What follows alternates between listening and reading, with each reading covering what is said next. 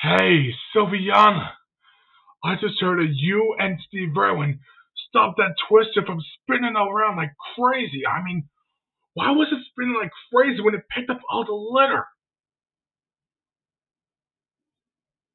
Oh, we used the three R's. Well, I was having a hard problem to figure out what the three R's stand for. I think it stands for Randy, uh, Rihanna, and uh, Brian.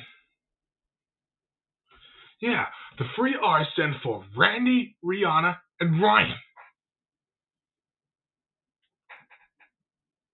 They're not? What do they stand for?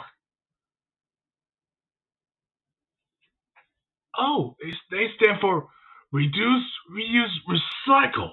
Huh. That's very interesting.